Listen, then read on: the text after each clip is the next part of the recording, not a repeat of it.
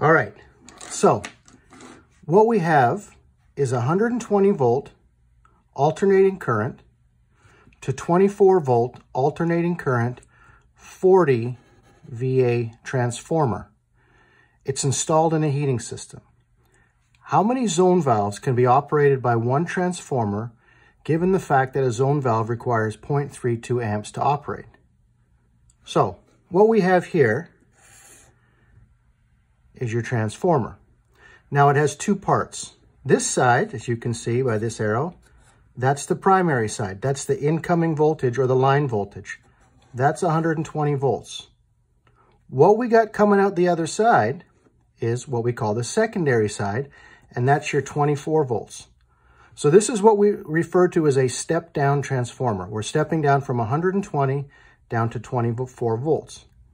Now the power rating, or what it's classified as, is a 40 VA transformer. 40 is your power, or 40 is your watts. And what that's equal to is volts times amps.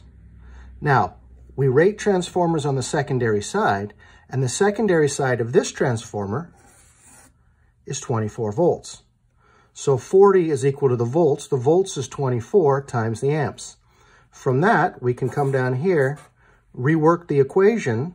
The amps is equal to the power, or watts, divided by the volts.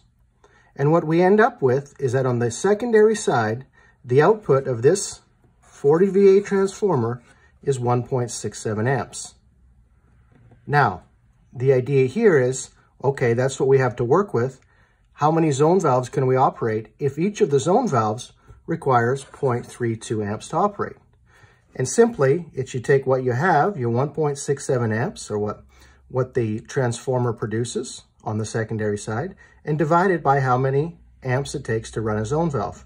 What we end up with is 5.2. Now, in all reality, of course, you bump this down to 5 because you can't operate 0.2, but you'll see in the heating trade, what heating guys will do is they won't put 5 on there they'll actually put four on there and give the transformer a little bit of space to breathe and operate. All right, there you go. There's your 40 VA transformer.